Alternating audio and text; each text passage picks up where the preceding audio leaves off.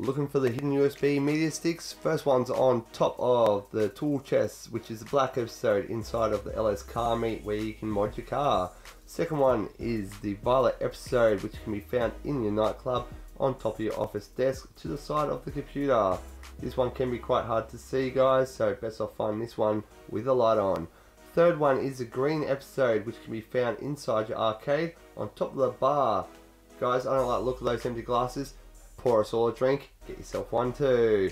The last and final one is the blue episode found at the Diamond Casino out in the outdoor terrace on top of the second table from the elevator.